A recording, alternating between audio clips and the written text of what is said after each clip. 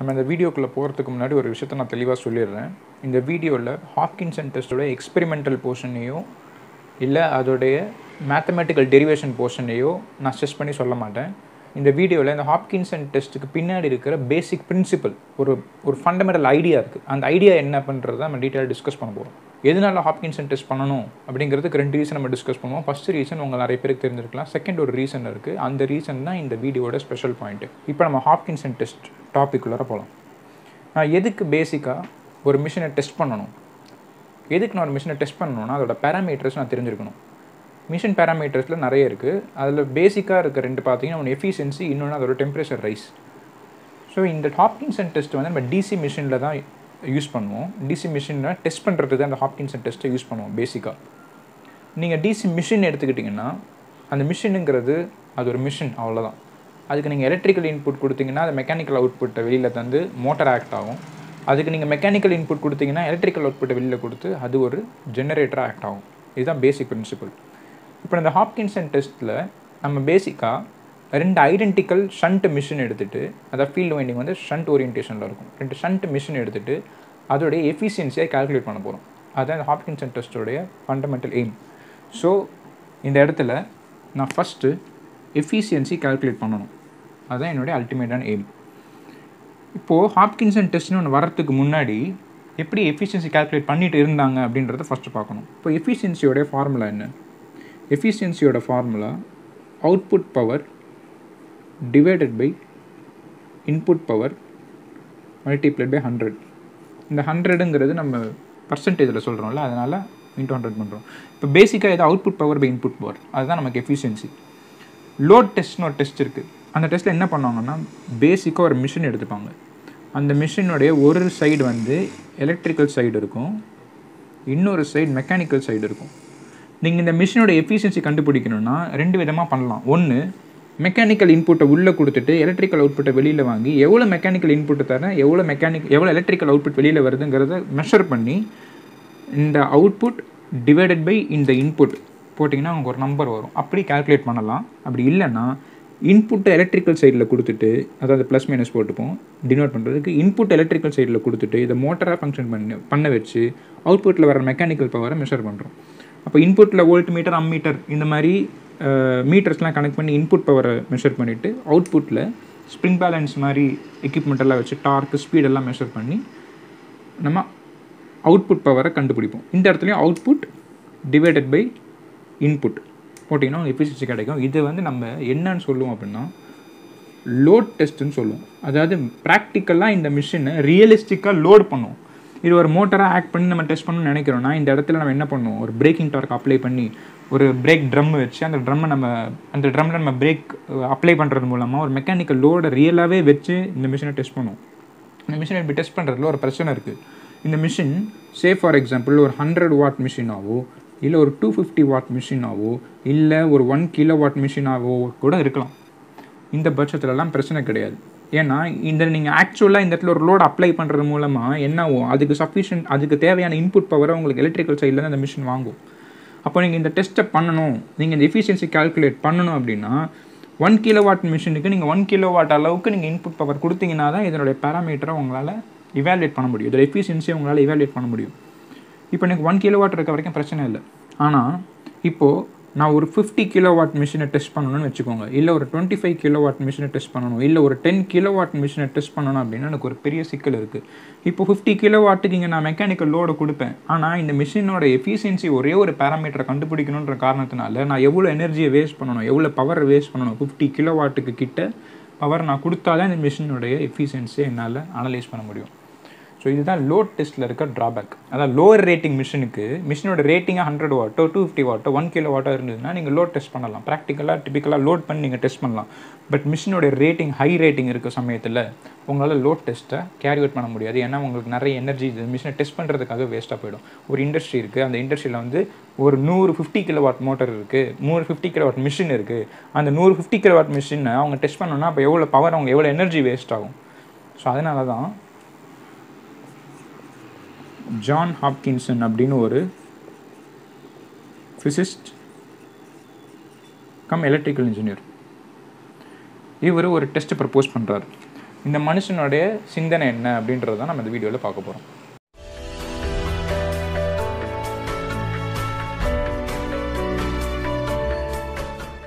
இப்போ என்கிட்ட ரெண்டு மிஷின் இருக்குது ஒரு மிஷின் ஜென்ரேட்டர் ஆக்ட் பண்ண போகுது. இப்போ நான் சொல்ல போகிற ப்ராசஸில் இன்னொரு மிஷின் இப்போ நான் சொல்ல போகிற ப்ராசஸில் மோட்டர் ஆக்ட் பண்ண போகுது. முக்கியமான விஷயம் இந்த ரெண்டு மிஷினுமே ஐடியல் மிஷின் இப்போதைக்கு நான் அசீவ் பண்ணிக்கிறேன். ஐடியல் மிஷின்னா என்ன அர்த்தம்? நீங்கள் எங்கேயுமே ஆர்மேச்சூர் ரெசிஸ்டன்ஸ்லாம் எதுவும் இல்லாமல் ஐடியலாக இருக்குது மிஷின் அதாவது அந்த அந்த ஆர்மேச்சர் ரெசிஸ்டன்ஸில் வந்து லாஸ்ட்லாம் எதுவும் இல்லாமல் மிஷின் ஐடியலாக இருக்குது அப்படின்னு அசீவ் பண்ணிக்கிறேன். இப்போ இந்த கேஸில் நான் இந்த மோட்டரையும் ஜெனரேட்டரையும் பேக் டு பேக் கனெக்ட் பண்ண போகிறேன் பேக் டு பேக்னா என்ன அர்த்தம்? ஒன்று பின்னாடி ஒன்று அதாவது மோட்டரோட அவுட்புட் வந்து ஜென்ரேட்டருக்கு இன்புட்டாக போகும். ஜென்ரேட்டரோட அவுட்புட் வந்து மோட்டருக்கு இன்புட்டாக வந்துடும் அதுதான் நம்ம பேக் டு பேக் கனெக்ஷன் சொல்லுவோம். அதனால தான் இந்த ஹாப்கின்சன் டெஸ்ட்டுக்கு இன்னொரு பேர் இருக்குது back to back test or regenerative test so இப்போ நம்ம என்ன பண்ண போகிறோம் ஃபஸ்ட்டு ஒரு மோட்டர் எடுத்துக்கிறோம். இந்த இடத்துல ஒரு மோட்டர் இருக்குது இந்த மோட்டர் என்ன பண்ணும்? எலக்ட்ரிக்கல் இன்புட்டை உள்ளே வாங்கிட்டு இந்த எலக்ட்ரிக்கல் டெர்மினல்ஸ் வேலை எலக்ட்ரிக்கல் இன்புட்டை உள்ளே வாங்கிட்டு மெக்கானிக்கல் அவுட்புட்டை வெளியில் தரும். இப்போ நான் என்ன பண்ண போகிறேன் இதே ஷாஃப்ட்டில் சேம் ஷாஃப்ட்டில் ஒரு கப்ளிங் மெக்கானிக்கல் கப்ளிங் வச்சுட்டு இன்னொரு மிஷினை கனெக்ட் பண்ண போகிறேன் இதில் இன்னொரு விஷயம் நல்ல ஞாபகம் வச்சுக்கணும். இதுவும் இதுவும் ஐடென்டிக்கல் மிஷின் ஐடென்டிக்கல் மிஷின்னா என்ன? ரெண்டுக்கும் ரேட்டிங் வந்து சேமாக இருக்குது டிசைன் ஆஸ்பெக்ட்லாம் ஆல்மோஸ்ட் ஐடென்டிக்கலாக இருக்குது அப்படின்னு அர்த்தம். இப்போது இந்த ஜென்ரேட்டர் இருக்குல்ல இதை எடுத்துகிட்டு வந்து இந்த இடத்துல கனெக்ட் பண்ண போகிறேன் ஸோ ஜென்ரேட்டருக்கு இன்புட் எப்படி இருக்குது மெக்கானிக்கலாக இருக்குது ஜென்ரேட்டரோட அவுட்புட் எப்படி இருக்குது எலக்ட்ரிக்கல் அவுட்புட் நமக்கு இந்த இடத்துல வரப்போகுது. ஸோ மோட்டரோடைய அவுட்புட் இப்போது ஜென்ரேட்டரோட இன்புட் போயிடுச்சு. ஏன் ஏன் மோட்டரோட அவுட்புட் என்ன? மெக்கானிக்கல் அவுட்புட் கரெக்டாக அதை தான் நம்ம இப்போது ஜென்ரேட்டருக்கு இன்புட்டாக கொடுத்துருக்கோம். மெக்கானிக்கல் இன்புட்டாக கொடுத்துருக்கோம். இப்போது இதோடைய அவுட்புட் இதுக்கு இன்புட்டாக வரணும். இப்போது ஜென்ரேட்டரோட அவுட்புட் என்ன? எலக்ட்ரிக்கல் அவுட்புட் மோட்டரோட இன்புட் என்ன? எலக்ட்ரிக்கல் அதுவும் இன்புட் ஸோ இந்த அவுட்புட் இப்போ எனக்கு எப்படி வரணும்? இதுக்கு இன்புட்டாக வரும். இதுதான் நம்ம பேக் டு பேக் கனெக்ஷன் சொல்லி சொல்லுவோம். இந்த டயக்ராம் இருக்குல்ல இதை நான் சிம்பிளிஃபை பண்ணி எப்படி வரைகிறேன்னா எப்படி வரைகிறேன் அப்படின்னா இப்படி இந்த ஒயரை வளைச்சி வளைச்சி போடாமல் கொஞ்சம் நீட்டாக இப்படி குறுக்க போட்டுறேன் அவ்வளோதான் இதை தான் நம்ம பேக் டு பேக் கனெக்ஷன் சொல்லுவோம். இதெல்லாமே எலக்ட்ரிக்கல் ஒயர் இதெல்லாமே எலக்ட்ரிக்கல் ஒயர் ஏன்னா நம்ம அதை வேறு கலரில் கூட வரைஞ்சிக்கலாம் எலக்ட்ரிக்கல் ஒயருங்கிறதுனால நம்ம அதை ரெட் கலரில் வரைஞ்சிருக்கோம் இந்த பிளாக் கலரில் இருக்கிறது மெக்கானிக்கல் இது வந்து ஷாஃப்ட் இந்த எலக்ட்ரிக்கல் ஒயர் வந்து இப்படி இருக்குது இந்த மிஷினுக்கும் இந்த மிஷினுக்கும் இப்படி இருக்குது ஸோ இது பாசிட்டிவ் டெர்மினல் நெகட்டிவ் டெர்மினல் இது பாசிட்டிவ் டெர்மினல் இது நெகட்டிவ் டெர்மினல் இப்போ இந்த மாதிரி நம்ம கனெக்ட் பண்ணியிருக்கோம். இப்போ இந்த இடத்துல நீங்கள் தெளிவாக ஒரு விஷயம் புரிஞ்சுக்கணும். இது நான் என்னன்னு சொன்னேன்? ரெண்டுமே ஐடியல் மிஷின்னு சொன்னேன். உள்ளே எங்கேயுமே லாஸ் நடக்கலை. அப்படின்னா இது ஐடியல் மிஷினாக இருக்க பட்சத்தில் இந்த மோட்டர் எவ்வளோ எலக்ட்ரிக்கல் எனர்ஜியை வாங்குதோ அது அப்படியே மெக்கானிக்கல் எனர்ஜியை கன்வெர்ட் பண்ணிடும். இந்த ஜென்ரேட்டர் எவ்வளோ மெக்கானிக்கல் எனர்ஜியை வாங்குதோ அது அப்படியே திரும்ப எலக்ட்ரிக்கல் எனர்ஜியை கன்வெர்ட் பண்ணிடும். இது ரெண்டுமே பேக் டு பேக் கனெக்டாக இருக்கிறதுனால இதோட ஸ்கிமேட்டிக் டயக்ராம் ஸ்கிமேட்டிக் டயக்ராம் எப்படி போடலாம்? ஜென்ரேட்டர் இங்கே இருக்குது மோட்டர் இங்கே இருக்குது ஜென்ரேட்டர் மோட்டருக்கு எலக்ட்ரிக்கல் சப்ளை தருது.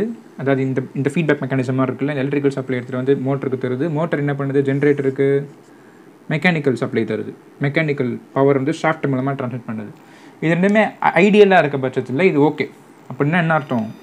இந்த மோட்டர் ஒரு ஹண்ட்ரட் ஜூல் இந்த ஷாஃப்ட்டில் தருதுன்னா எலக்ட்ரோ மெக்கானிக்கல் கன்வர்ஷன் இந்த மிஷினில் நடந்ததுக்கு அப்புறமா ஹண்ட்ரட் ஜூலுக்கு நமக்கு எலக்ட்ரிக்கல் எனர்ஜி இந்த இடத்துல வெளியில் வரும். திரும்ப அந்த ஹண்ட்ரட் ஜூல் இந்த மோட்டருக்கு போகும் இங்கே எலக்ட்ரிக் எலக்ட்ரோ மெக்கானிக்கல் கன்வர்ஷன் நடக்கிறது மூலமாக அந்த ஹண்ட்ரட் ஜூல் அப்படியே திரும்ப மெக்கானிக்கலாக கன்வெர்ட் ஆகும். அப்படியே சர்க்குலேட் ஆகிட்டே இருக்கும். ஸோ இது ஸ்டேபிளாக சிஸ்டமாக இருக்கும். ஆனால் எந்த மிஷினுமே ப்ராக்டிக்கல் மிஷின் எதுவுமே இந்த மாதிரி ஐடியல் மிஷின் கிடையாது. இங்கே தான் ஜான் ஹாப்கின்சன் வந்து ப்ரில்லியண்ட்டாக ஒரு விஷயத்தை யோசிச்சு பண்ணுறாரு அவர் என்ன பண்ணுறாரு இந்த மாதிரி ஒரு சுச்சுவேஷன் எடுத்து அனலைஸ் பண்ணும்போது சே ஃபார் எக்ஸாம்பிள் நான் என்னமோ ஒரு ப்ராசஸ் பண்ணி இந்த மிஷினுக்கு ஹண்ட்ரட் ஜூல்ஸை உள்ளே கொடுத்துட்றேன்னு வச்சுக்கோங்க. இது ஒரு ரியல் மிஷின் ப்ராக்டிக்கல் மிஷினுங்கிறதுனால இதோட எஃபிஷியன்சி ஹண்ட்ரட் ஹண்ட்ரட் பர்சன்ட் எஃபிஷியண்ட்டாக இருக்காது. இதோட efficiency somewhat less than hundred percent தான் இருக்கும். சே ஃபார் எக்ஸாம்பிள் இந்த மிஷின் நைன்ட்டி பர்சன்ட் எஃபிஷியன்சியில் ஒர்க் ஆகுதுன்னு வச்சுக்கோங்களேன். டென் பர்சன்ட் என்ன ஆகுது? லாஸ் ஆகிடுது அப்போது ஹண்ட்ரட் ஜூலில் உள்ளே கொடுக்கும்போது டென் ஜூல் லாஸ் ஆகிட்டு வெளியில் உங்களுக்கு எவ்வளோ ஜூல் வரும்? நைன்ட்டி ஜூல் தான் வரும். இப்போ இந்த ஷாஃப்டில் எங்கேயுமே மெக்கானிக்கல் லாஸே நடக்கலைன்னு வச்சுப்போம். அதே மாதிரி இந்த ஒயர்லையும் எலக்ட்ரிக்கல் லாஸ் எங்கேயும் நடக்கலை. இப்போ இந்த ஷாஃப்ட்டுக்கு வருவோம். ஹண்ட்ரட் ஜூல் நீங்கள் மோட்டருக்கு எலக்ட்ரிக்கல் இன்புட்டாக தரீங்க அது எலக்ட்ரோ மெக்கானிக் கன்வர்ஷன் பண்ணி நைன்ட்டி ஜூவில் வெளில தருது. இப்போ இதில் எஃபிஷியன்சி எவ்வளோ? மிஷினோட எஃபிஷியன்சி நைன்ட்டி பர்சன்ட் ஏன்னா output by input ninety by hundred ninety percent இப்போது இந்த நைன்ட்டி ஜூல் தான் ஜெனரேட்டருக்கு இன்புட்டாக போகுது. இப்போ இதில் என்ன ஐடென்டிக்கல் மிஷின் அசிம் என்ன சொல்லணும்னா ஸோ இப்போ ப்ராக்டிக்கலாக ஐடென்டிக்கல் மிஷினாக இருக்க சமயத்தில் இது நைன்ட்டி பர்சன்ட் எஃபிஷியன்சியில் இருக்குன்னா இதுவும் நைன்ட்டி பர்சன்ட் எஃபிஷியன்சியில் தான் ஆக்ட் ஆகும். பட் இதோட இன்புட் பவர் எவ்வளோ? நைன்ட்டி ஜூல் தான். இதில் நைன்ட்டி பர்சன்ட் எவ்வளோன்னு பார்க்கணும். Ninety percent of ninety joules எவ்வளோன்னு பார்த்தீங்கன்னா எயிட்டி ஒன் ஜூல் தான் வரும். அப்போது இந்த மிஷினை இந்த ஜென்ரேட்டர் என்ன பண்ணுது? நைன்ட்டி ஜூல் மெக்கானிக்கல் எனர்ஜியை வாங்கிட்டு அதோட எலக்ட்ரிக்கல் எனர்ஜி எவ்வளோ இருக்குது இப்போ எயிட்டி ஜூல் தான் இருக்குது இப்போ இந்த எயிட்டி ஜூல் தான் இங்கே போகுது. இப்போ இன்புட் எவ்வளோ இல்லை? ஹண்ட்ரட் ஜூல் கிடையாது. இப்போ எயிட்டி ஜூல் தான் வருது. இப்போ எயிட்டி ஜூலில் நைன்ட்டி பர்சன்ட் எடுத்திங்கன்னா திரும்ப கம்மியான வேல்யூ வரும். அந்த கம்மியான வேல்யூ தான் திரும்ப இங்கே ரீப்ளேஸ் ஆகும். இந்த வேல்யூ திரும்ப அப்படியே இங்கே போயிடும். இந்த மிஷினை கிராஸ் பண்ணும்போது நைன்ட்டி பர்சன்ட் தான் அதில் வரும். ஸோ இந்த வேல்யூ வராது. இதை விட ஒரு கம்மியான வேல்யூ தான் வரும். திரும்ப அந்த வேல்யூ இங்கே வரும். இப்போ ஃபைனலாக என்ன ஆகிட்டு இருக்கும்? இப்படியே லூப் அடிச்சு லூப் அடிச்சு எனர்ஜி ஃபுல்லாக டிசிபேட் ஆகிடும் எதில் டிசிபேட் ஆகும். இந்த மிஷினோடைய வைண்டிங்கில் இருக்க ரெசிஸ்டன்ஸில் அது மாதிரி நிறைய பேராமீட்டரில் இந்த எனர்ஜி வந்து டிசிபேட் ஆகிடும் அவர் ஜான் ஹாப்கின்சன் என்ன சொல்கிறாரு என்னுடைய அல்டிமேட் எய்ம் என்ன? இந்த மிஷினோட எஃபிஷியன்சியை கண்டுபிடிக்கணும். ஸோ அவர் என்ன பண்ணுறாரு பேசிக்காக அப்படின்னா இந்த இடத்த நான் எரேஸ் பண்ணிடுறேன். அவர் என்ன பண்ணுறாரு பேசிக்காக அப்படின்னா எஃபிஷியன்சியோட ஃபார்முலாவை ரீஅரேஞ்ச் பண்ணுறாரு எஃபிஷியன்சினா நமக்கு என்ன சொல்லியிருக்கேன்? அவுட்புட் பை இன்புட் கரெக்டாக இதுதான் எஃபிஷியன்சின்னு சொல்லியிருக்கேன். மல்டிப்ளை பை ஹண்ட்ரட் வரும். அதை இப்போதைக்கு நம்ம பேச வேணாம் அவுட்புட் பை இன்புட் தான் எஃபிஷியன்சி இப்போது இந்த அவுட்புட்டை நம்ம எப்படி எழுதலாம்? ஒரு சிஸ்டம் இருக்குது அந்த சிஸ்டமில் சம் இன்புட் நான் தரேன். அதாவது இந்த இந்த மோட்டரில் நம்ம பார்த்தோம் இல்லையா? ஹண்ட்ரட் ஜூல் இன்புட் தரேன் அப்படின்ற மாதிரி பார்த்தோம் இல்லையா? அந்த மாதிரி ஒரு சிஸ்டம்க்கு நான் சம் இன்புட் தரேன்.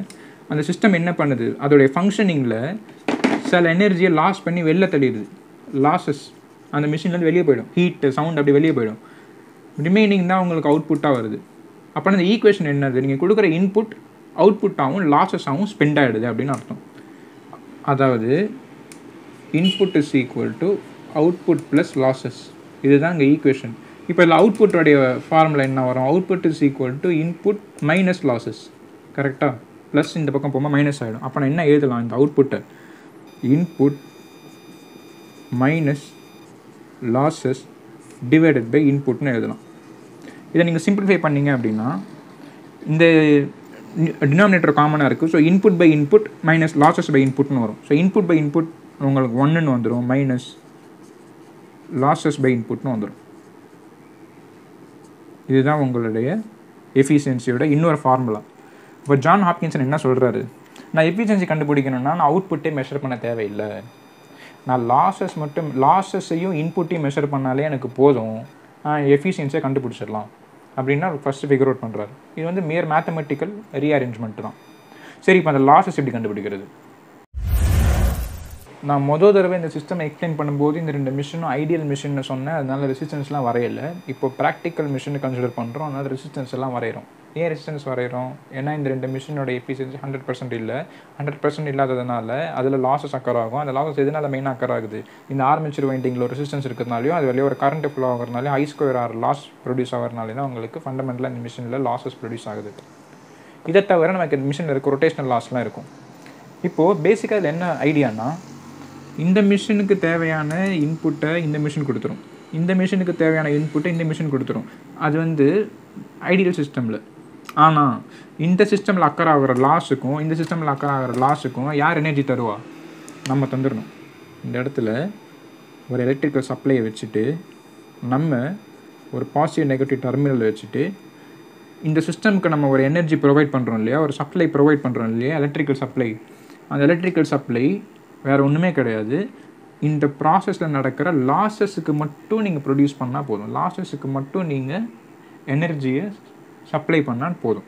அதுதான் இந்த சிஸ்டமில் இருக்கிற பெரிய அட்வான்டேஜ் அதான் இந்த மெத்தடில் இருக்கிற பெரிய அட்வான்டேஜ் இதுவே நீங்கள் ஆக்சுவலாக ஒரு ஃபிஃப்டி கிலோ வாட் மோட்டரை எடுத்துகிட்டு அதை வந்து நீங்கள் லோட் டெஸ்ட் பண்ணுறீங்கன்னு வச்சுக்கோங்க. ஃபிஃப்டி கிலோ வாட் எடுத்துகிட்டு நீங்கள் அதை லோட் டெஸ்ட் பண்ணுறீங்க அப்படின்னா நீங்கள் இன்புட்டில் எவ்வளோ தரணும். ஃபிஃப்டி கிலோ வாட் ரேஞ்சில் நீங்கள் பவரை கொடுத்தா தான் வோல்டேஜும் கரண்ட்டையும் கொடுத்தா தான் அப்போ தான் இந்த பவர் கிடைக்கும். வோல்டேஜும் கரண்ட்டையும் மல்டிப்ளை பண்ணுறதுனால இந்த பவர் கிடைக்குது. இந்த பவரை கொடுத்தா தான் உங்களால் இந்த மிஷினை அனலைஸ் பண்ண முடியும். ஆனால் ஜான் ஹாப்கின்சன் என்ன பண்ணுறாரு ப்ரில்லியண்ட்டாக இந்த ரெண்டு மிஷின் ஐடென்டிக்கல் மிஷினை எடுத்துகிட்டு அதை பேக் டு பேக் கனெக்ட் பண்ணிவிட்டு இந்த சிஸ்டமுக்கு தேவையான லாஸஸை மட்டும்தான் அவர் ப்ரொடியூஸ் பண்ணுறாரு லாஸஸை மட்டும்தான் அவர் வாங்கிக்கிறார் இந்த சிஸ்டமுக்கு ஸோ இந்த லாஸஸை நம்ம மெஷர் பண்ணலாம்.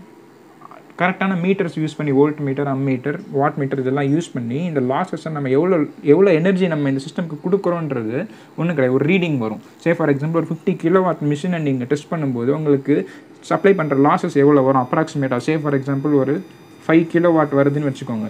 அந்த ஃபைவ் கிலோ வாட்டை மட்டும் நீங்கள் சப்ளை பண்ணால் போதும். ஃபிஃப்டி கிலோ வாட் சப்ளை பண்ண தேவையில்லை. அதுதான் நான் இந்த டெஸ்ட்டோடைய பெரிய அட்வான்டேஜ் அதனால தான் நம்ம இதை என்னன்னு சொல்கிறோன்னா ரீஜெனரேட்டிவ் டெஸ்ட்னு சொல்கிறோம் அதாவது நீங்கள் இந்த கொடுக்குற எனர்ஜி ரீஜென்ரேட் ஆகி இந்த மிஷினுக்கு திரும்ப வந்துடுது அதனால தான் இதுக்கு இன்னொரு பேர் இருக்குது அதுக்கு பேர் ரீஜெனரேட்டிவ் டெஸ்ட் இதெல்லாம் வந்து ஹை ரேட்டட் டிசி மிஷினுக்கு தான் கண்டக்ட் பண்ணிட்டு இருந்தாங்க இந்த டெஸ்ட்லாம் ஆப்வியஸாக இப்போ நம்ம டிசி மிஷின்லாம் யூஸ் பண்ணுறது இல்லை. பட் ஒரு நூறு வருஷத்துக்கு முன்னாடி டிசி மிஷின்லாம் பல்க் பல்காக இருக்கும். டிசி மிஷினில் பெரிய சைஸ் கமர்ஷியல் டிசி மிஷின்ஸ் இருக்கும். பவர் சப்ளை பண்ணுறதுக்கு பவர் சிஸ்டம்ஸ்லேயே பெரிய சைஸ் டிசி மிஷின்ஸ் இருந்தது. அந்த மாதிரி சமயத்துலலாம் இந்த டெஸ்ட்டை யூஸ் பண்ணி தான் பண்ணாங்க. இந்த வீடியோ முடிக்கிறதுக்கு முன்னாடி ஒரு முக்கியமான விஷயத்த சொல்லிட்டு முடிக்கிறேன். நம்ம சோஃபார் பார்த்தது ஒரு ஓவரால் கான்செப்ட் இந்த கான்செப்டை எப்படி நம்ம அண்டர்ஸ்டாண்ட் பண்ணிக்கிறதுங்கிறது தான் பார்த்தோம். அதாவது ஹாப்கின்ஸ் அண்ட் டெஸ்ட்டை எதுக்கு பர்ஃபார்ம் பண்ணணும்? அது பின்னாடி இருக்கிற பேசிக் பிரின்சிபல் என்ன? அப்படிங்கிறத எக்ஸ்பிளைன் பண்ணுறது தான் இந்த வீடியோ இது வந்து எக்ஸாக்ட் ஹாப்கின்சன் டெஸ்ட் கிடையாது. இது எக்ஸாக்ட் ஹாப்கின்சன் டெஸ்ட் எப்படி பண்ணணும் அப்படின்ற எக்ஸ்பெரிமெண்ட் கிடையாது. நீங்கள் ஒரு எக்ஸ்பெரிமெண்ட்டை ப்ராக்டிக்கலாக கேல்குலேட் பண்ணும்போது அதுக்கு தேவையான ப்ரிகாஷன்ஸ்லாம் இருக்கிற மாதிரி இருக்கும். அதில் எக்ஸ்பெரிமெண்ட் ஓரியன்டாக நீங்கள் பார்க்கும்போது ஹாப்கின்சன் டெஸ்ட்டில் இன்னும் சில கான்செப்ட்ஸ் இருக்குது நான் அந்த வீடியோவில் அதெல்லாம் கவர் பண்ணல. என்னோட மெயினான எய்ம் என்னென்னா ஜான் ஹாப்கின்சன்ன்ற அந்த ஃபிசிஸ்ட் இருக்கார் இல்லையா? அவர் இந்த இந்த இந்த பர்டிகுலர் எக்ஸ்பெரிமெண்ட்டை டிசைன் பண்ணதோடைய மெயின் ஐடியா என்ன? என்ன பிரின்சிபல் அப்படிங்கிறத கன்வே பண்ணணும் அப்படிங்கிறது.